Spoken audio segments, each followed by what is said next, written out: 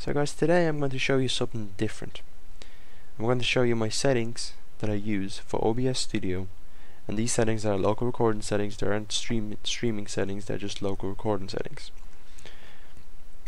Now these settings should work for Linux and also Mac OS X because it is a OBS Studio so I'm guessing the settings are exact same. So before I begin I just want to show you file sizes that I get by recording a one minute video so I'm just going to bring this uh, bar chart up. And I done a test one minute video at 1080p I didn't do any 720p videos because I kind of don't record at that resolution so I didn't really want to go into and change the resolution and you know mess around with it. So I just done I just done what I done. So I recorded at 60 frames and I recorded at 30 frames now for gaming, you could see that I got 414 megabytes. So these 414 and 676 are megabytes and 2.27 are all in megabytes. So the values are megabytes. Okay, so so at 30 frames I got 414 megabytes. So that's one minute video. That's how much it weighed. I played GTA 5 at 30 frames. I drove a car. You know, there was a lot of movement and so on, a lot of motion. So that's what I got. That that was the file size I got. Okay. So gaming at 60 frames per second, again the same scenario, same game, but just at 60 frames, I got 676 megabytes. Okay, so that's around a difference of just under 300 megabytes. So you could see the difference is quite big when it comes to gaming, especially in a large scale. So if this video was one hour, you could see that the difference would be quite big. While when it came to desktop recording, the file sizes were actually near nearly same obviously in large scale it would be a bigger difference but it wouldn't be as big as well the gaming. So that's a little note for you guys. So yeah. So let's actually get into my settings. So my settings. So I'm going to click on my settings. I'm going to skip this part because I haven't changed anything here. I'm going to skip this part because I haven't changed anything here. Or maybe I did. Maybe I looked at different services but otherwise I didn't really actually do anything. Here I do have some settings set up already, so if you do want to copy them, you can, but I don't promise that they will work really well because I actually haven't even tested them myself. So yeah, anyway, this is the important part, the local recording part sort of a thing, the recording tab. Okay.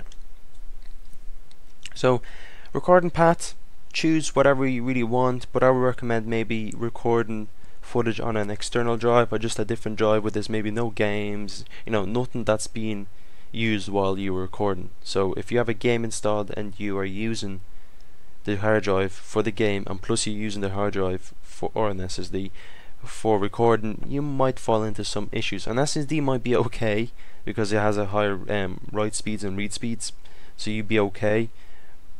But yeah, when it comes to hard drives, you might have an issue. So just just a little side note. Okay, so recording format I use MP4.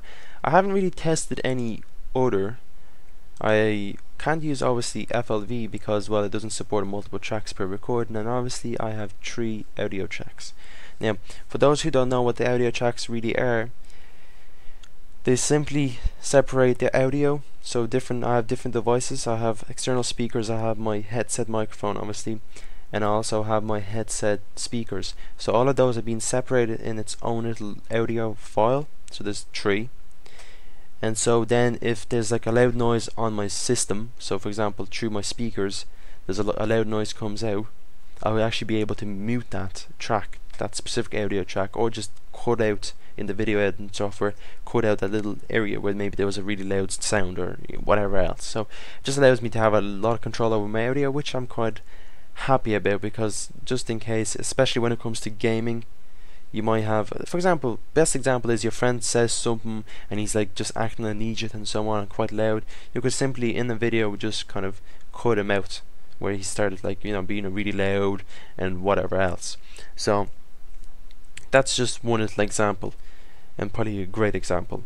So that's why I like separating them, but that's another reason I can't use FLV and MP4 has an issue where if you crash, so if your OBS crashes or your computer blue screens or whatever happens, um, for example the power goes out, the file that you recorded will be corrupted because it won't save pretty much so it'll just be corrupted so you're gonna have to restart everything. While the FLV allows you to actually have some security in a way in terms of if your power goes out OBS crashes blue screen or just the computer just freezes I don't know whatever happens the file actually will save so you'll actually have some of your video saved and you'll be able to start wherever wherever you left off with while with MP4 you will have an issue you won't be able to do that. Encoder I use um, 264 as you could see. I haven't really experimented with this one. I'm guessing it uses um, the GPU to encode your video. I'm guessing because I mean I have an Intel CPU, so I doubt you know it'll be AMD video coding engine. So I'm guessing it's it's um, the GPU. So actually I haven't researched that. I actually will and see if it's any better. But yeah. Okay.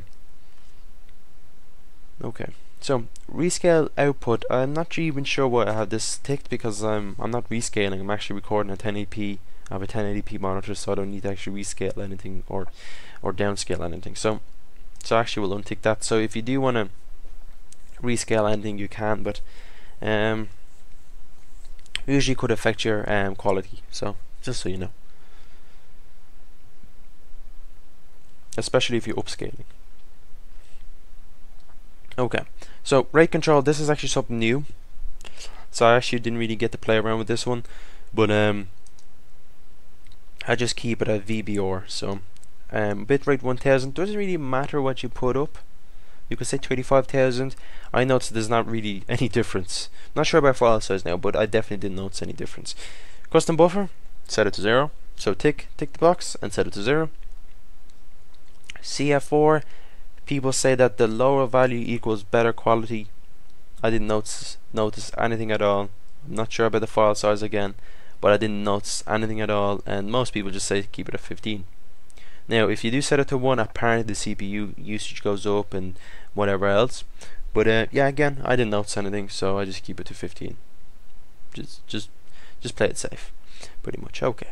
So this is usually set to zero but automatically so don't even touch it. Okay. So CPU um, usage preset I use ultra fast. So there's all different modes. I just use ultra fast. That's that's what people actually recommend too. So yeah specifically for local recording not for streaming now. For streaming you might use that if your CPU is quite weak. For local recording again I changed these and it didn't do crap. So it looked the exact same to me. Again don't know if the file um, size changed all I know it just looked the same. So yeah that's really about it for this part. Next part is the audio part and as you can see I have actually three tracks so now you kind of have a bit more of an understanding what I mean by three tracks. In a way just in a way. All of these are going to be separated but um so I don't really have much over here going on. I just you know have these. I think this is by default already here and it, usually this is a 44 I just set it to 48 and as you could see there see my scale resolution is actually the same as my um, base resolution because I don't don't need to. I don't want to downscale or I don't want to upscale. So downscale filter I just use the best one they have and I record at 60 frames because well because I can and I kind of like the how smooth it is. So that's that really. So advanced I don't really didn't even play around with these and I'm sure there's not much going on here. I think this is actually usually set to this but um I just set it to full. It doesn't change anything as far as I know. Anyway, hotkeys, I only have one hotkey really. Um, I should really update these and so on if um, I start getting a lot more um, scenes or sources on my um, on my recording. Anyway, so I'm just going to press apply anyway. And now I'm going to actually go into my mixer. And now you can see, see these have been all separate, se separated. So you can see that I have three tracks and they're all been, you know, Track 1 is my mic. Track 2, I don't remember what it was, but I'm guessing my external speakers. And track um, 3 is my headset. So you could also do such things where, for example, any audio, for example, let's say this is my headset um, audio. I could actually record everything on this audio. So on this track, I, I could record um, the sound of my microphone and also the sound of my of my external speakers onto the all one track and also record the sound of the headset speakers if anything comes out. Mm, I'm not really sure why there's actually such thing.